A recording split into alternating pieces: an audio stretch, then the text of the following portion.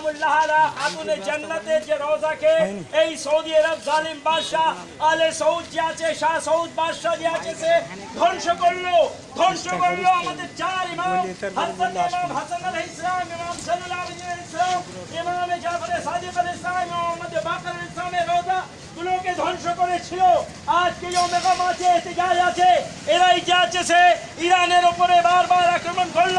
Trump গিয়েছিল Saudi আরব বাদশাহ খলিফার কাছে ওখান থেকে গেল।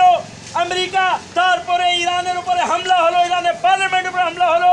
ইরানে বড় বড় মুকদ্দাস রোজার উপরে হামলা হয়েছে, ইমাম খোমেনি রোজার উপর হামলা হয়েছে।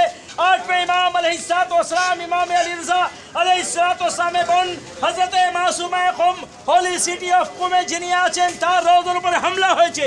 এই হামলার প্রতিবাদ করার জন্য সমস্ত মুসলমান এক হো আমি এখন আমাদের মৌলানা যিনি এখন আরব ইরানে সিরিয়াতে হায়ার এডুকেশন যিনি নিচ্ছেন আর রিসার্চ করছেন হজরতুল ইসলাম আল মুসলিমিন, জনাব জিমি সাহেব কবিলার কাছে আমি অনুরোধ করব যে উনি এখানে মূল্যবান বক্তব্য রাখেন।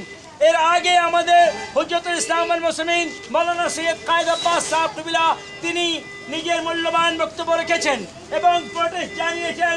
মৌলানা আমাদের সামনে এখানে আছেন মৌলানা জাহির আলী গাজী সাহেব কবিলা তিনিও প্রোটেস্ট জানিয়েছেন, এখানে সুন্নি, শিয়া, মধ্যে কোনো মতভেদ নেই।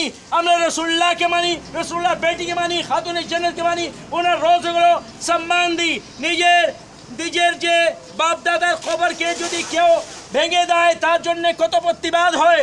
আর রসুলের রোজা, রসুলের স্ত্রী হাজরত ওমর মোমিন খাদিজা কোবরা সালামুল্লাহ রোজার উপরে আক্রমণ হলো।